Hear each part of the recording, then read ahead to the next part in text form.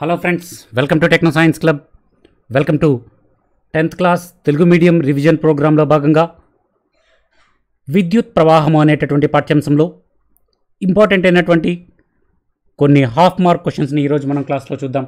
ఈ వీడియోను పూర్తిగా చూడండి. నచ్చినట్లయితే లైక్ చేయండి షేర్ చేయండి సబ్స్క్రైబ్ చేయడం మాత్రం మర్చిపోకండి. Let's go into the topic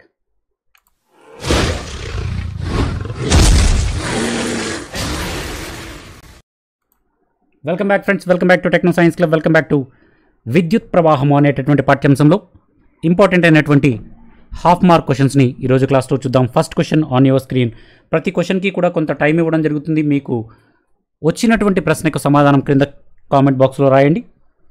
నేను ఆన్సర్ చెప్పేలోపు మొదటి ప్రశ్న.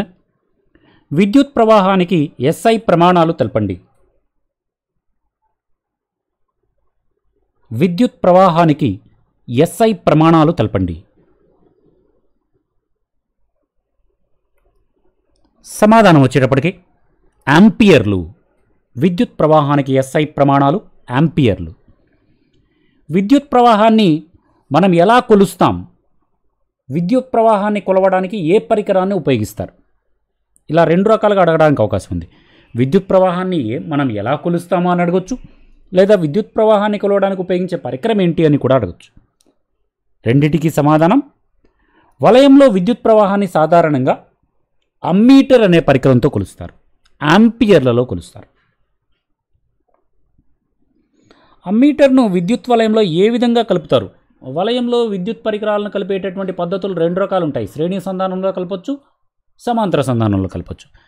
ఆ రెండింటిలో అమ్మీటర్ను ఏ వలయంలో ఏ విధంగా కలుపుతారు? శ్రేణి సంధానంలో కలుపుతారా?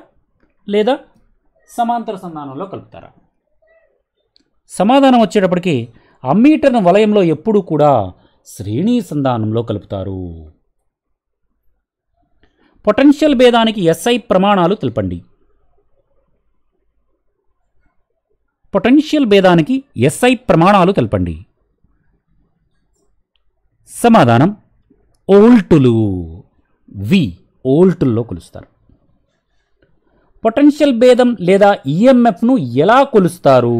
లేక పొటెన్షియల్ భేదం లేదా ఈఎంఎఫ్ ఎలక్ట్రోమోటివ్ ఫోర్స్ ఈఎంఎఫ్లను కొలవడానికి ఉపయోగించేటటువంటి పరికరం ఏది?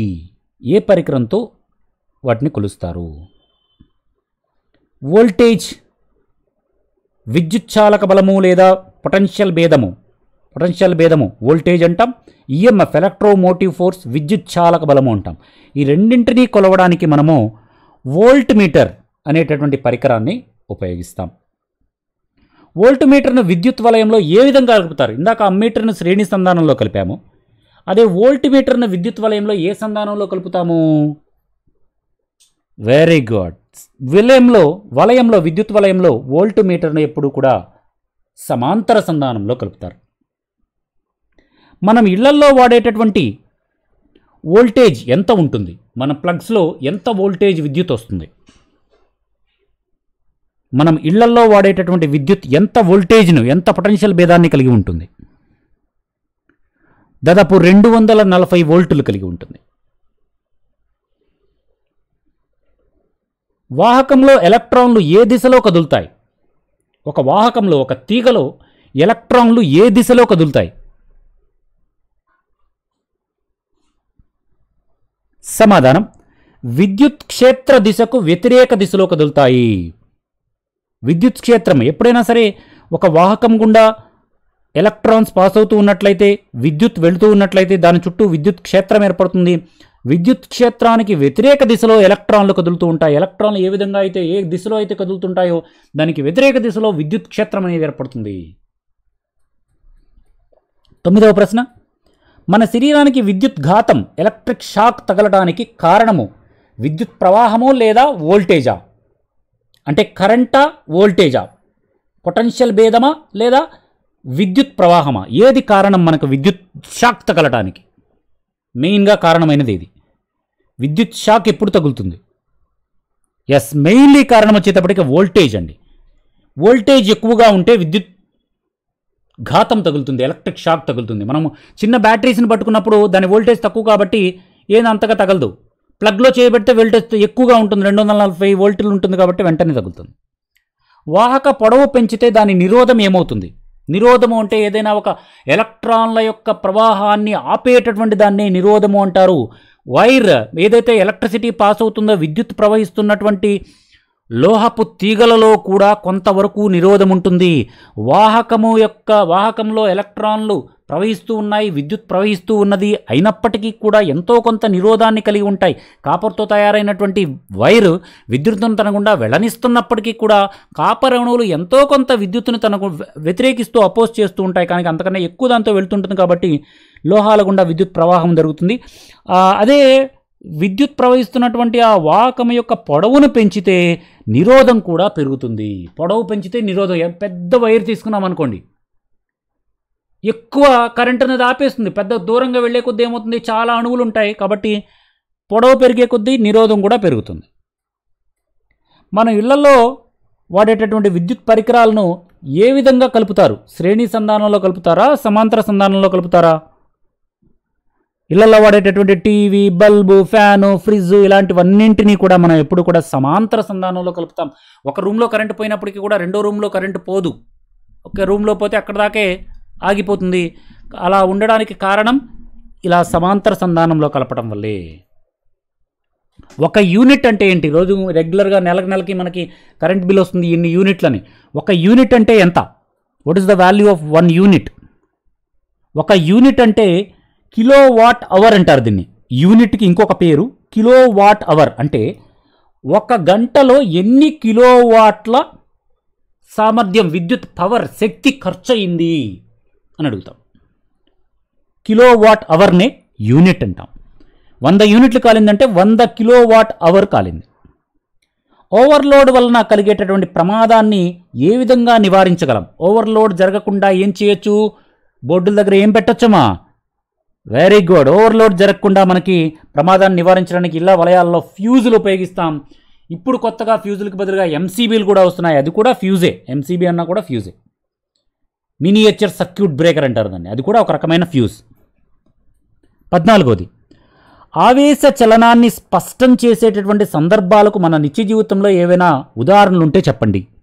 ఆవేశాలు చెలిస్తూ ఉంటాయి ప్రవహిస్తూ ఉంటాయి. మెరుపులమ్మ.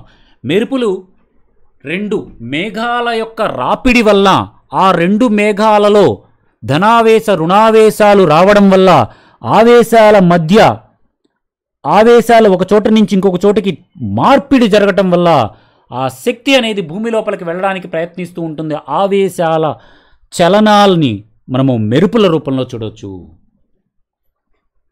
డ్రిఫ్ట్ వడి డ్రిఫ్ట్ వెలాసిటీ డ్రిఫ్ట్ వడి లేదా అవసర వేగము అంటే ఏమిటి అంటే వాహకంలో ఎలక్ట్రాన్లు స్థిర సరాసరి వడితో చెలిస్తూ ఉన్నట్లయితే భావిస్తే ఆ వడినే సరాసరి వడి అవసర వడి లేదా సరాసరి వడి లేదా డ్రిఫ్ట్ వెలాసిటీ అంటాం.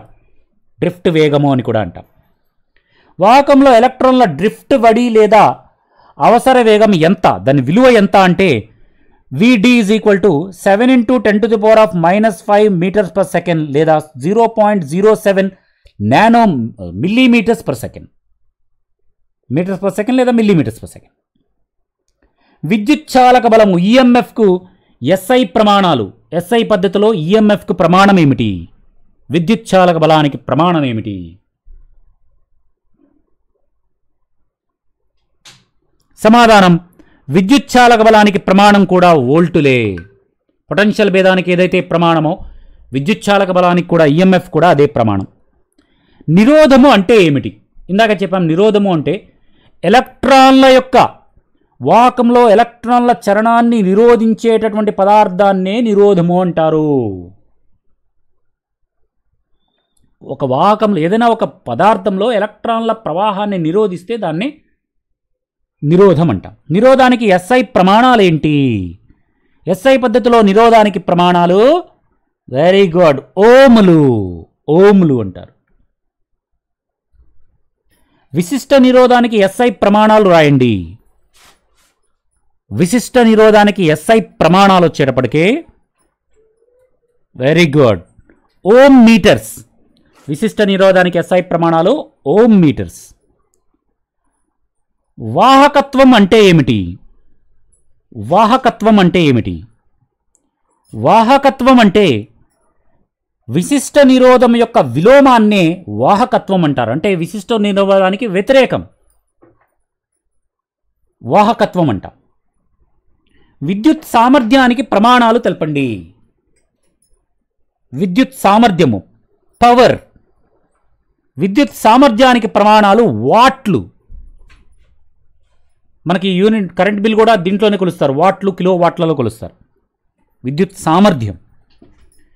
విద్యుత్ శక్తి యొక్క ఎస్ఐ ప్రమాణాలు ఏంటి విద్యుత్ శక్తి యొక్క ఎస్ఐ ప్రమాణాలు తెలుసు. వెరీ గుడ్ వాట్ సెకండ్ లేదా kilo watt hour watt second లేదా కిలో వాట్ అవర్లు అనేది విద్యుత్ శక్తి యొక్క ఎస్ఐ ప్రమాణము. ఇవ్వండి ఇంపార్టెంట్ అయినటువంటి ఒక twenty three expected most important half mark questions in విద్యుత్ ప్రవాహం అనేటటువంటి పాఠ్యాంశంలో రాదగినటువంటి ముఖ్యమైనటువంటి అరమార్కు ప్రశ్నలు. నెక్స్ట్ వీడియోలో ఇదే విద్యుత్ ప్రవాహంలో రాదగినటువంటి ముఖ్యమైనటువంటి వన్ మార్క్ క్వశ్చన్స్ని చూద్దాం. ఈ వీడియోస్ని మన ఛానల్లో ఉన్నటువంటి రెగ్యులర్ రివిజన్ వీడియోస్ని ప్రతిరోజు చూస్తూ ఉండండి. మీ ఫ్రెండ్స్ అందరికీ సోషల్ మీడియా ద్వారా షేర్ చేస్తూ ఉండండి. ఎలాంటి డౌట్స్ ఉన్నా కింద కామెంట్ బాక్స్లో తప్పకుండా రాయండి. Please like share and subscribe and comment thank you thank you for watching జై Hind have a nice day thank you for watching జై హింద్ వందే మాతరం